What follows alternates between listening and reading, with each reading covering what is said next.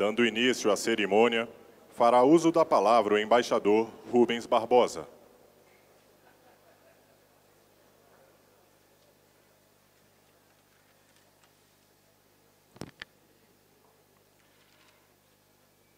Senhor Ministro Aloysio Nunes Ferreira, senhor Secretário-Geral, Embaixador Marcos Galvão, chefes de missões diplomáticas em Brasília, demais autoridades, prezados colegas e amigos. Em primeiro lugar, quero saudar o ministro Aloysio Nunes Ferreira, que acaba de assumir a chefia desta casa em mais uma etapa de uma carreira política de grande êxito e marcantes posições na vida pública brasileira.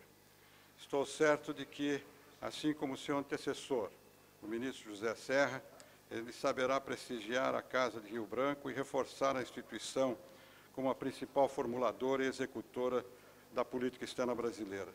Desejo todo sucesso em sua importante missão, que ocorre em um momento de grandes transformações no cenário internacional e a necessidade do Brasil claramente definir o seu lugar no mundo. Estou certo de que ele dará importante contribuição nesse sentido. Não posso deixar de saudar igualmente o secretário-geral, embaixador Marcos Galvão, aqui acompanhado de nossa querida Ana Maria, que comigo colaborou em Londres e em Washington com a mesma competência e lealdade com que agora serve ao Itamaraty como seu funcionário mais graduado e principal assessor do ministro de Estado.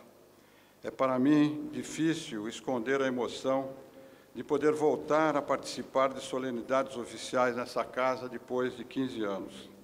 Há poucas semanas estive aqui presente em almoço para o presidente Macri, a convite do presidente Michel Temer. E agora tenho a alegria de participar da abertura da exposição Palavras Sem Fronteiras. E assim me vem à mente lembrança dos 42 anos em que me dediquei ao trabalho de ajudar a construir uma política externa que pudesse colocar o Brasil em primeiro lugar e a defesa do interesse nacional acima de regimes de exceção e de ideologias partidárias. O momento, no entretanto, não é de memórias, mas de comemoração pela abertura da exposição eh, sobre um dos muitos livros de um diplomata exemplar, o embaixador Sérgio Correa da Costa.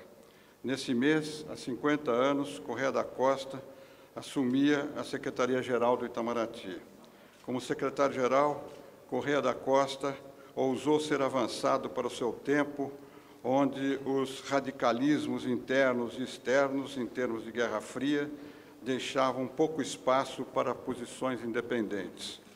Na defesa do interesse brasileiro, superou o facciosismo político interno e articulou a volta de, cientistas que se exilaram no exterior e, entre outras iniciativas, foi um pioneiro na defesa do interesse brasileiro na energia nuclear.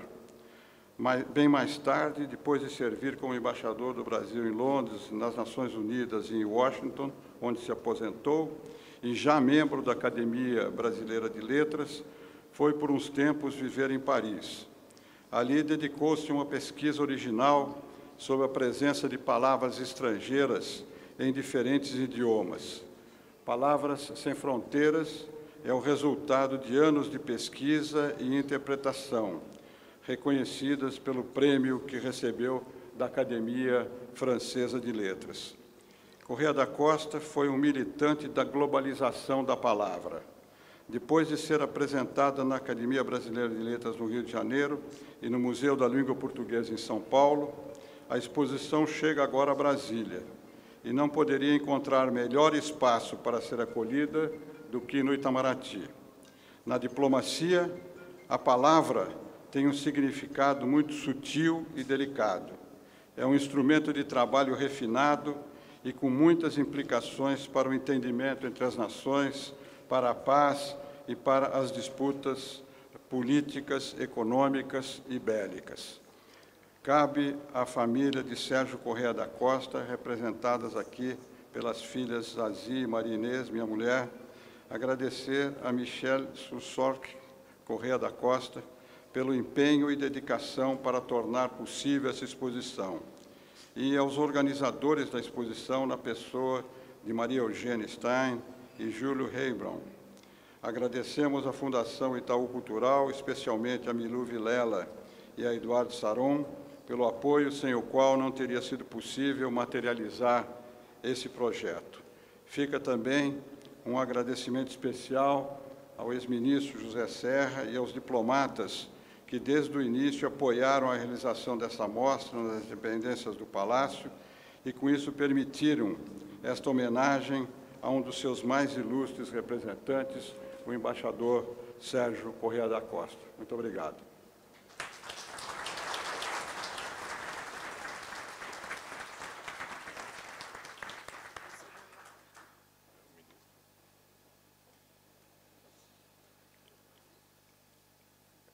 Onde é que está o texto? Eu não vou me aproveitar os textos.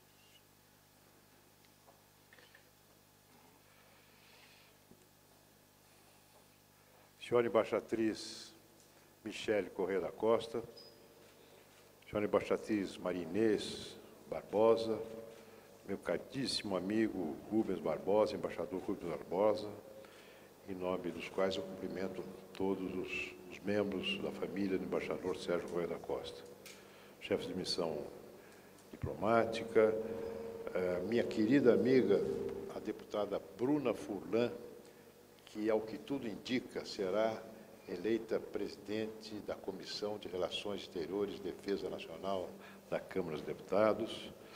Cumprimentar a embaixatriz Ana Maria Galvão, Marcos Galvão, secretário-geral do Ministério das Relações Exteriores. Cumprimento todos os colegas do Itamaraty, o ministro Pertence, o ministro Raimundo Carreiro, presidente do Tribunal de Contas da União, senhoras e senhores.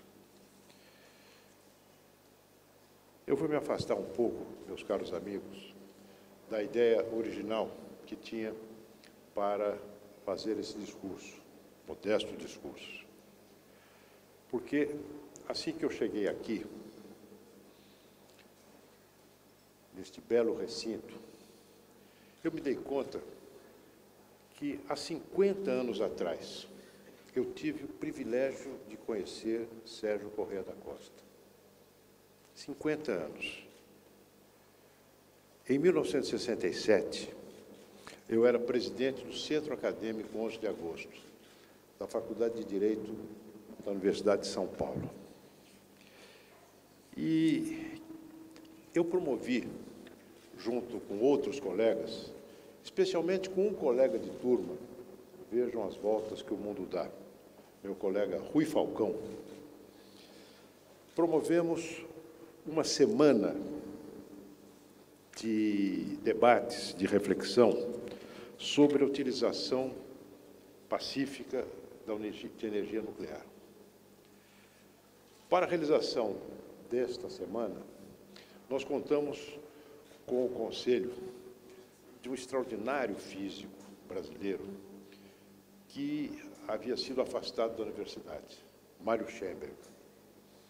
E Mário Scheber me chamou a atenção para a ação que vinha sendo desenvolvida pelo então secretário-geral do Itamaraty, Sérgio Correia da Costa, no momento em que cresciam pressões sobre o governo brasileiro, para o governo brasileiro, ao subscrever um tratado de não proliferação, aceitasse cláusulas que poderiam levar, direta ou indiretamente, a restrições à nossa possibilidade, à nossa competência, à nossa ambição de desenvolver pesquisas nucleares e desenvolvimento de sua aplicação para fins pacíficos. E organizamos essa semana. Eu recebi o embaixador Sérgio Correia da Costa. Me lembro até hoje. Ele entrou por um corredor do meio da sala do estudante da Faculdade de Direito e eu o acompanhava e tenho até hoje uma fotografia minha ao lado dele. Uma figura impressionante. Muitos aqui devem tê-lo conhecido. Eu conheci há 50 anos atrás. Como podia eu imaginar que depois de 50 anos eu estaria aqui como ministro de Relações Exteriores, inaugurando uma belíssima exposição que coincide com a homenagem a Sérgio Correia da Costa. Ele nos impressionou e cativou a todos. Era um homem bonito, elegante. Ele trouxe um texto escrito à sua palestra que ocorreu cerca de dez dias depois da sua presença numa reunião das Nações Unidas, em que ele afirmou com muita energia a posição do Brasil em banir, sim, as armas atômicas, mas jamais abrir mão da pesquisa e do desenvolvimento da tecnologia nuclear. Na sequência, aliás, de esforços pioneiros que se iniciaram sob a iniciativa ainda nas Forças Armadas, da Marinha Brasileira, o almirante Álvaro Alberto, que foi quem primeiro trouxe um, uma, um, um reator para ser montado no Brasil e que foi uma ocasião de aprendizado de físicos importantíssimos, como Luiz Salmeron, como o próprio Mário Schemberg. E Sérgio Correia da Costa inseriu a sua ação como secretário-geral, naquele momento, exatamente nessa linha, a linha da busca da autonomia brasileira no desenvolvimento científico e tecnológico, que era a sua paixão, especialmente naquele momento no, no que diz respeito à autonomia do nosso país em matéria de energia nuclear. Eu queria fazer essa lembrança, dizer que naquele momento, na Faculdade de Direito, havia uma predominância muito forte de estudantes de esquerda, organizadores éramos Rui Falcão e eu, ambos membros do Partido Comunista Brasileiro, sob inspiração de Mário Schember, conhecido militante comunista. Mas nós conseguimos, com Sérgio Correia da Costa, criar uma tal sintonia de pontos de vista em torno daquilo que é importante para o nosso país, para a nossa nação, para o futuro que ele já vislumbrava, que eu quero dizer a vocês que essa foi uma das lições que mais marcaram a minha vida. E olhem que naquela época eu já estava dando passos acelerados num rumo que a minha vida política somou, acabou por percorrer depois e que me levaram a 11 anos de exílio. Então, esse é o depoimento que eu queria dizer, transmitir à família de Sérgio Correia da Costa, aos seus colegas, aqueles que o conheceram, a lembrança de um homem de bem, de um patriota, de um homem culto, um homem que entendia de muita coisa, de literatura, de música, de pintura, de ciência e tecnologia, como você bem ressaltou, Rubens, né?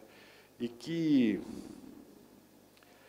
na sua, na sua, no seu discurso de posse na, na Academia Brasileira de Letras, se referiu com muita propriedade à palavra a importância da palavra e as transformações que o diálogo humano haveria de conhecer no seu estilo, na sua forma, no seu conteúdo, nas palavras que utiliza, a partir da, dos meios de comunicação digital.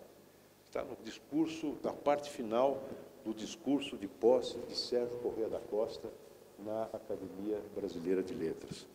Como que, antevendo o a globalização da palavra, que nada mais é senão a globalização do diálogo humano. Vejo que quero cumprimentar os nossos amigos franceses que aqui se encontram, lembrando que a França nos levou três palavras globais: liberté, égalité, fraternité. Merci beaucoup. Um abraço, obrigado.